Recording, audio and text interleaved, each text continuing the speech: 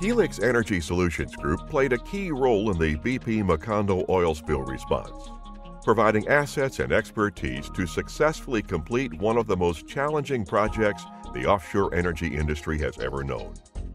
Based on the lessons learned and technologies developed for the Macondo response, Helix has developed the HFRS, the Helix Fast Response System.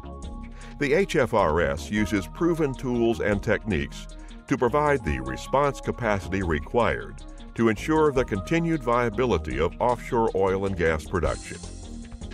The HFRS utilizes vessels operating full time in the Gulf of Mexico with experienced crews. Contracts are structured so that, in the event of a spill, the required vessels can enter spill response mode the moment they are needed.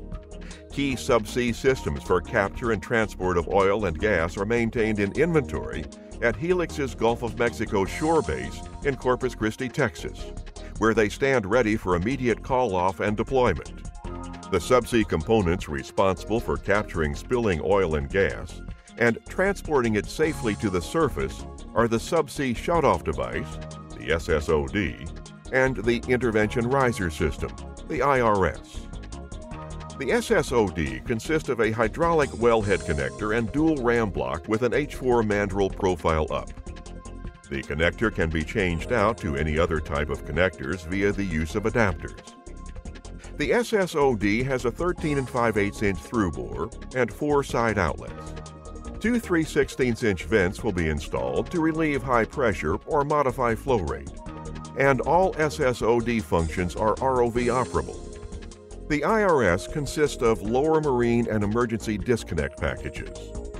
The maximum bore diameter is 7 and 3 8 inches, with a well barrier 7 and 3 8 inch hydraulic cutting gate valve and two 7 and 3 8 inch spring assist fail-safe closed gate valves. A pilot line hydraulic control system is used to remotely control the IRS functions and is capable of operating in depths of up to 5,600 feet. An upgrade conversion to a MUX control system will extend its capability beyond depths of 10,000 feet. The surface vessels tasked with processing spilled oil and flaring gas are Helix's Q4000 semi-submersible MODU and the Helix Producer 1 floating production unit, coupled with a storage tanker. The dynamically positioned Q4000 is a U.S. flagged vessel specifically designed for well intervention and construction in extreme depths of water. The Q4000 features a multi purpose tower capable of fulfilling all traditional derrick roles, two cranes with lifting capacities of 160 and 360 tons respectively, operable in water depths to 10,000 feet, and two heavy weather work class remote operated vehicles. In spill response mode, the Q4000 is equipped with a well test skid and burner to flare up to 10,000 barrels of oil per day and 15 million cubic feet of gas per day.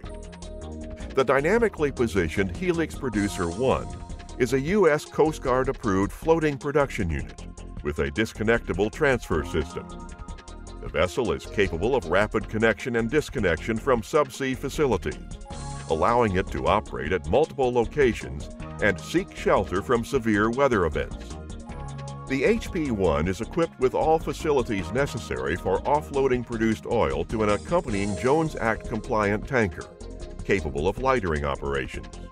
In the first 24 hours after the Helix Fast Response System is activated, the Q4000, Helix Producer 1, and the MSV Express will suspend operations at their current locations and begin transiting directly to the spill site.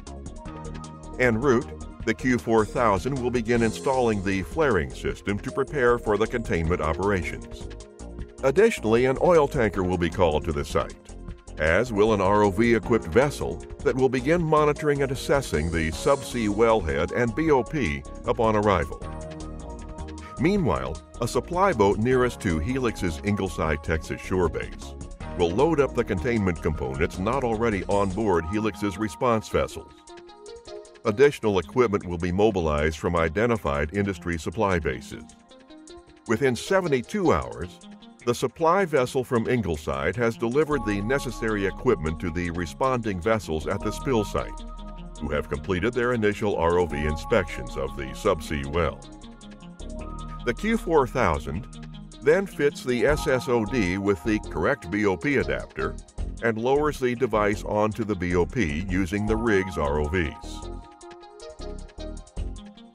Once the SSOD is lowered into place, the well can be successfully shut in if the pressure is not too extreme. If oil continues to flow from the damaged well, the flow will be diverted and the IRS is then lowered onto the SSOD and connected to the flow lines, which will allow the Q4000 to begin flaring up to 12,000 barrels per day.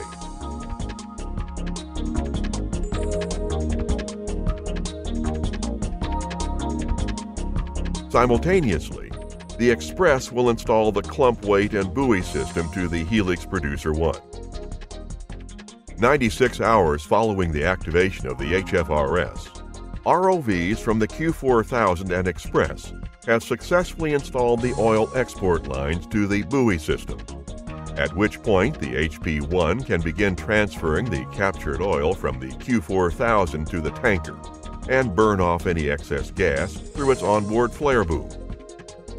At full production capacity, the Helix Fast Response System can handle up to 55,000 barrels of oil, 70,000 barrels of liquids, and 95 million cubic feet of gas per day at pressures of up to 10,000 psi in water depths beyond 10,000 feet.